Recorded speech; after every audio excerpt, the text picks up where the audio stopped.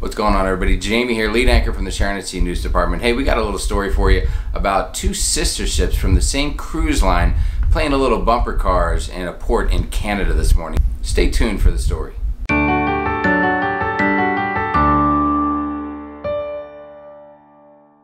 All right, so this morning in Canada, near Canada Place at the port of Vancouver, uh, two Holland America ships were going to be debarking, letting all their passengers off, and getting ready to set sail again later on in the day.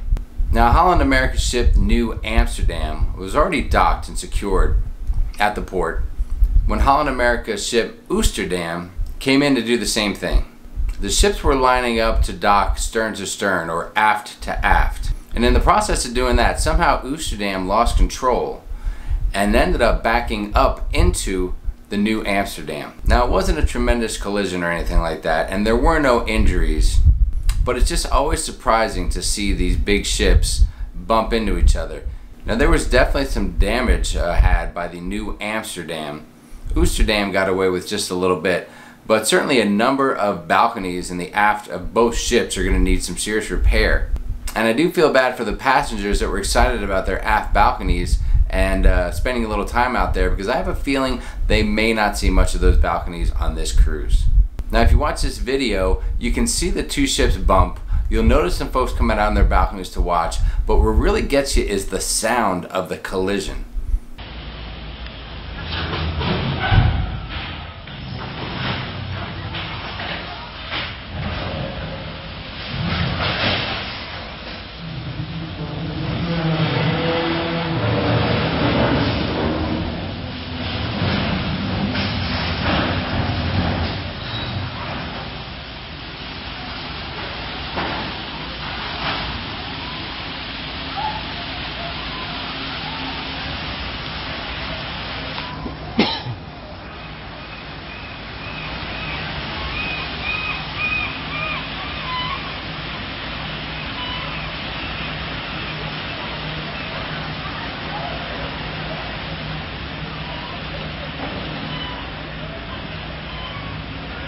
I mean, hearing those ships bump into each other and scrape up against each other is kind of like listening to nails on a chalkboard.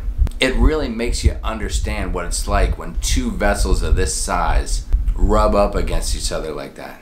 Now, I mentioned earlier, Holland America is not a cruise line you hear a lot about. They lay low when it comes to cruise news. Carnival lately has been in the news. Royal Caribbean's had some issues with its Oasis class ships. Viking Cruise Line had their issue there um, out in Norway or off the coast of Norway. But Holland America usually lays low. So it's nice to see them getting into the cruise news game as well.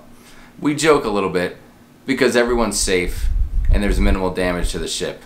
But we hope all those folks affected will have a great week on board those ships. I have a feeling they may see a little onboard credit or a uh, future cruise credit uh, coming their way, so that's always good news. And ultimately, we're glad that everybody's okay.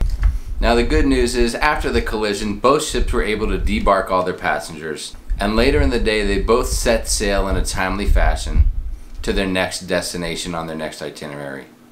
But again, we're glad everyone was okay. Minimal damage was obtained by the ships. And we hope everyone on board has a great cruise. Thanks very much for watching. We appreciate it. If you're into cruise news, cruise tips, cruise vlogs, or anything cruising, consider subscribing to the channel.